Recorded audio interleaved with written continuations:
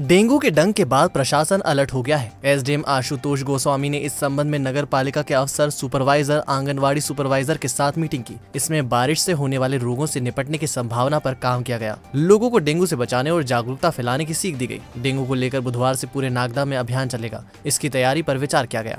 Dengue पर प्रहार करके एक कार्यक्रम का शुभारंभ किया जाएगा।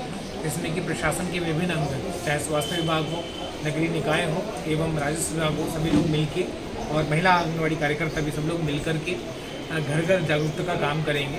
जैसा कि विदित है कि डेंगू, चिकनगुनिया, मलेरिया के जो मरीज़ हैं, लगातार बढ़ते जा रहे हैं। नागदा में नहीं तो आसपास तो केसेस आ ही रहे हैं। नागदा में कुछ संदिग्ध केसेस आए हैं। तो ये ज़रूरी है कि हम लोग ये तीनों ही बीमारियाँ, डेंगू, चिकनगुनिया और मलेरिया, इनके तीनों ही तीनों घातक की श्रेणी में आती हैं जिसमें कई लोगों की मौत भी होने की संभावना रहती है।